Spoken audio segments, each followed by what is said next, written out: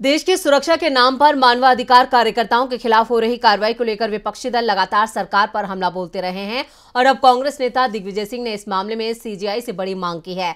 तो क्या कहा है दिग्विजय सिंह ने और किसके हक में उठाई है आवाज़? देखते हैं ये रिपोर्ट। पाँच साल पहले पुणे के पास भीमा कोरेगांव में हिंसा भड़की थी।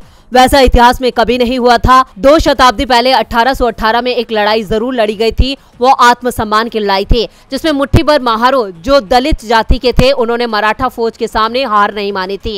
ये लड़ाई भीमा कोरेगांव में हुई थी, इसलिए हर साल यहाँ दलित समाज के लोग बड़ा आयोजन करते रहे हैं। और पाँच साल पहले इसी तरह के आयोजन में हिंसा भड़क उठी थी। इस मामले में आरोपियों के खिलाफ यूएपीए जैसे सख्त कानून के तहत आरोप तय किए गए। दो साल बाद जनवरी 2020 में पूरे मामले की जाँच एनआईए को सौंप दी गई। इस मामले में आरोपी प्रोफेसर सोमा सैन को गिरफ़्तार कर लिया गया था। तो दूसरे आरोपी जवाहरलाल नेहरू विश्वविद्यालय के छात्र रहे। उमर खालिद भी तीन साल से दिल्ली की तिहाड़ जेल में बंद है। उमर खालिद पर दिल्ली में हुए सांप्रदायिक टकराव मामले में भी गैर कानूनी गतिविधि अधिनियम यूएपीए के तहत मामला दर्ज है। सोमा सैन और उमर खालिद के मामले को लेकर मध्य प्रदेश के पूर्व सीएम दिग्विजय सिंह ने सीजीआई से सवाल पूछा है।